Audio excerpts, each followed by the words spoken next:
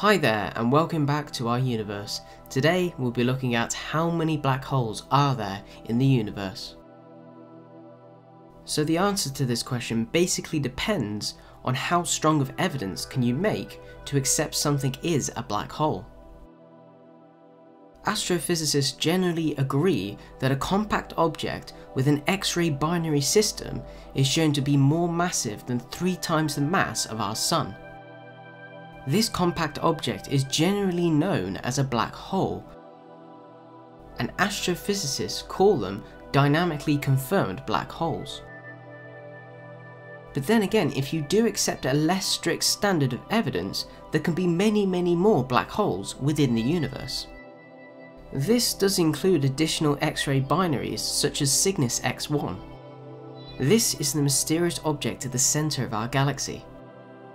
And this could also be the same for a lot of other galaxies with luminous centres. For example, the Sloan Digital Sky Survey measured the distance of more than a million galaxies and quasars. A large fraction of these galaxies and all of the quasars are thought to contain a supermassive black hole. Given this huge number, there is no plan to actually name these individual black holes. There are just far too many. There might be billions or maybe even trillions of these quasars and supermassive black holes. It all depends on how you define the black hole and also depends on how many galaxies and quasars you can find. So there's two different ways to describe how big something really is. These two different ways of describing can be how much mass it has or how much space it takes up. So first we can talk about the masses of black holes. There is no actual limit in principle to how much or how little a black hole can have. Any amount of mass in principle can be made from a black hole, if you compress it to high enough density.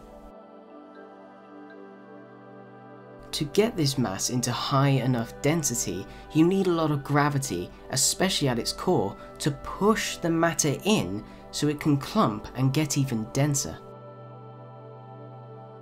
Most of the black holes are actually produced through the death of massive stars, so we expect these type of black holes to weigh as much as a massive star, a typical mass of such a stellar black hole would be around about 10 times the mass of our Sun.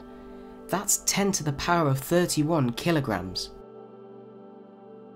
10 to the power of 31 means 1 with 31 zeros after it. That's a pretty big number. Also, many other galaxies may harbour these extremely massive black holes at their centres. These objects could weigh about a million times more massive than our Sun. That's 10 to the 36 kilograms. That's a bigger number. The more massive a black hole is, the more space it takes up.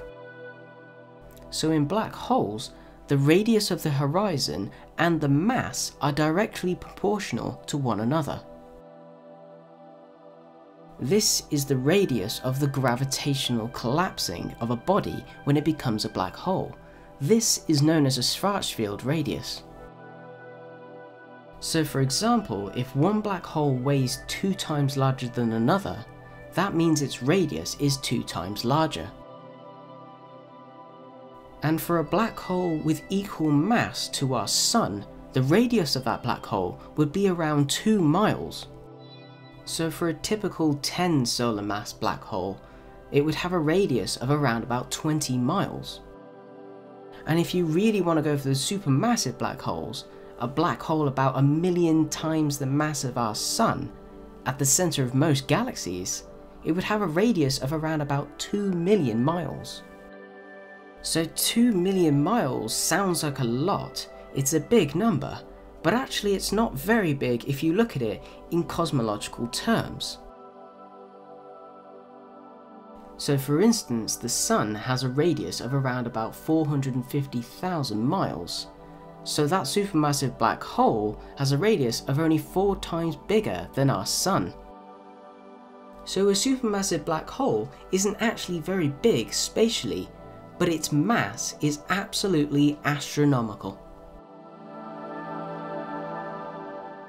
But if you want to go for the most massive and biggest black hole in the known universe, it has to be S5 0014 plus 81.